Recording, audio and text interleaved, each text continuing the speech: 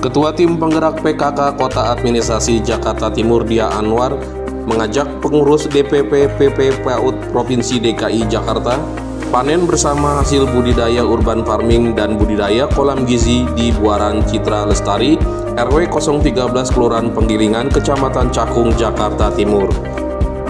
Beragam hasil urban farming dipanen dalam kegiatan tersebut seperti sayuran pakcoy, kangkung, terong, tomat, cabai rawit, dan seledri. Selain itu juga dipanen hasil budidaya ikan yakni ikan lele dan ikan nila serta hasil budidaya magot. Dia menyebutkan urban farming di Buaran Citra Lestari RW 013 Kelurahan Penggilingan dinilai sangat inovatif. Tak hanya itu, warga di RW 013 sangat kompak dalam membangun dan membudidayakan ketahanan pangan tersebut. Ya, kita tadi di awal dijemput anak-anak PAUD, kemudian kita langsung panen pokcoy, terus kangkung, setelah itu baru kita panen ikan nila dan ikan lele. Setelah itu kita langsung ke ekoponik, melihat ekoponik seperti apa tadi, heran kalau baru lihat, ya keren banget gitu. Terima kasih Pak Camat, sudah Lurah, Pak Lurah, Pak RW, Bu RW, Pak Sutejo dan semua yang ada di sini ya, makasih semua. Kemudian setelah itu tadi kita panen terong, cabai, dan tomat. Kemudian kita lihat lagi ada sesuatu di sana. Ternyata di tempatnya Bu RW ini ada market keren. Terus setelah itu kita ramah tamah. Kemudian ada lagi yang ditunjukin oleh Pak RW tadi. Ternyata ada sesuatu yang bagus. Nilai jual dari Pak Sutejo tadi. Oh lupa itu saya. Teko. Teko. Teko. Teko. Uh, tadi juga kita berbincang-bincang dengan uh, tingkat provinsi ini untuk nilai jualnya luar biasa karena bisa masukin ke dekeranas dan lain sebagainya. Dan kemudian Pak Te Sutejo menghadiahkan saya ini. Padahal tadi saya mau beli, tapi ini awalnya saya hadiah dari Pak Tejo. Terima kasih Pak Tejo. Dan selanjutnya kita bisnis nanti.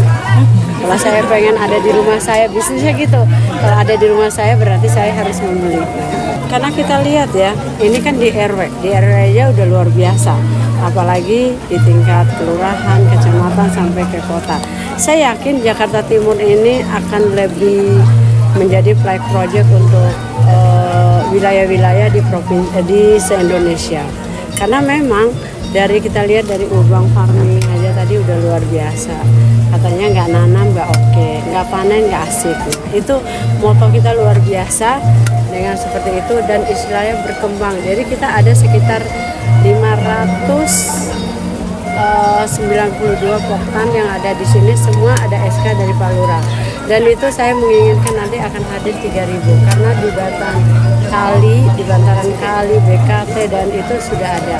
Tinggal kita nanti mengkelompok-kelompokkan Ya, hari ini kami uh, tadi untuk di hidroponik kami panen uh, kangkung dan daun uh, selada. Kemudian kami ada panen ikan lele dan ikan nila.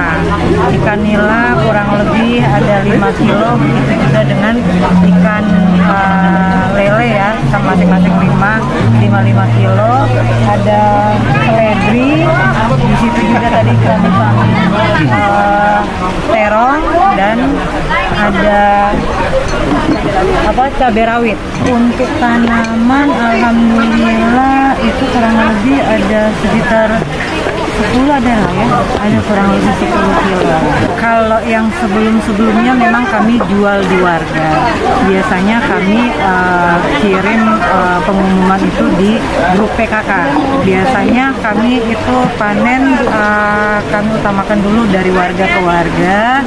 Biasanya kalau misalnya dari warga itu sudah uh, apa dari warga ke warga itu saja sudah habis. Kami tidak sempat uh, apa jual keluar selama ini yang kami jual ke warga itu aja.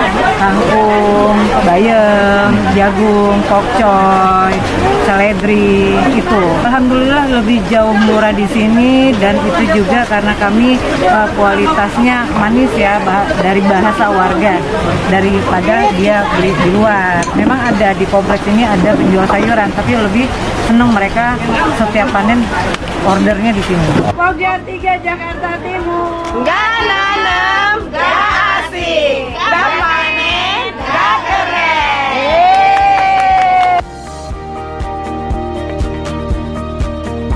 Tim Liputan Kominfotik Jakarta Timur melaporkan.